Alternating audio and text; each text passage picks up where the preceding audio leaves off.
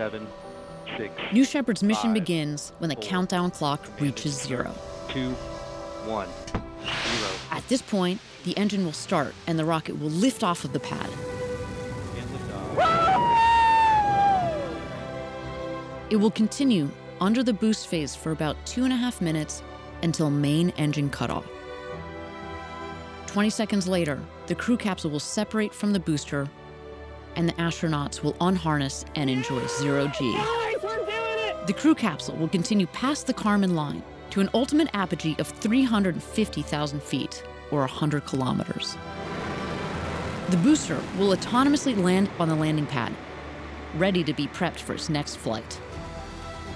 Around three and a half minutes after separation, the crew capsule will begin to re enter Earth's atmosphere. Parachutes will deploy around an altitude of 7,000 feet or 2,100 meters, providing a nice, slow descent back to Earth.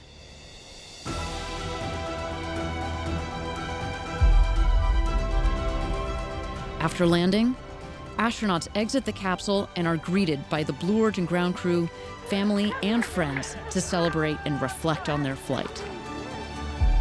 New Shepard, an adventure unlike anything on Earth.